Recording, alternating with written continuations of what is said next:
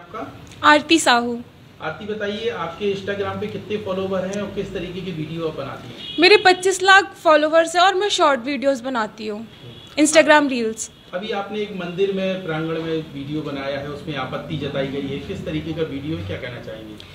अ, वो जो मंदिर है जहाँ पे मैंने वीडियोस बनाई है वहाँ पे हम लोग बचपन से वीडियोस बनाते आए हैं।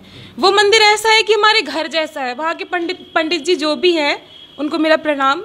उनने भी वीडियोस देखी हैं। उनने मेरे को बोला है कि, बेटा, तुमने जो वीडियो बनाई है, वो सनातन धर्म के लिए लोग बोल रहे हैं कि ठीक नहीं है। तो उसके लिए मैंने वो वीडियोस हटा दी हैं। पंडित जी ने बोला कि एक तुम माफ़ी टाइप की वीडियो बना के अपने सोशल मीडिया पे डाल दो और सब जगह सर्कुलेट कर दो कि भाई हमसे गलती हुई है उस वीडियो के लिए। तो मैंने सब जगह वो वीडियो अपलोड कर दी और पंडित जी ने ये भी बोला था सबसे कि उसने वीडियो अपलोड कर दी है तो कोई उस चीज़ को तूल न मचाए कि अब इस चीज़ के लिए बच्ची को फांसी दे देंगे।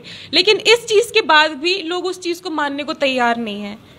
मैंने वो वीडियो किसी को किसी की भावनाओं को ठेस पहुँचाने के लिए नहीं बनाई थी, सिर्फ़ ऐसे ही घूमने गए थे। तो हम लोग हमेशा से वहाँ बचपन से वीडियोस बनाते आए हैं, लेकिन अभी मेरे फॉलोवर्स बढ़ गए तो मुझे उस- वो चीज़ दिमाग में नहीं आई कि इस चीज़ का लोग गलत गलत वे में उस चीज़ को यूज़ करेंगे। तो इसलिए मेरे से जो भी गलती हुई उसलिए मैंने माफ़ी भी मांगी और वो मैंने सारे वीडियोज़ भी डिलीट कर दिए, जो भी वीडियोज़ थी। और उसके लिए मैंने एक माफ़ी वाली वीडियो भी अपने सोशल मीडिया पे अपलोड की है।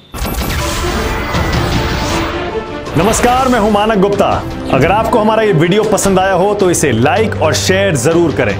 और हाँ, हमें सब्सक्राइब और फॉलो करना ना भूलें, ताकि आप देश और दुनिया की कोई खबर मिस ना करें। तो जुड़े रहिए हमारे साथ और देखते रहिए न्यूज़ 20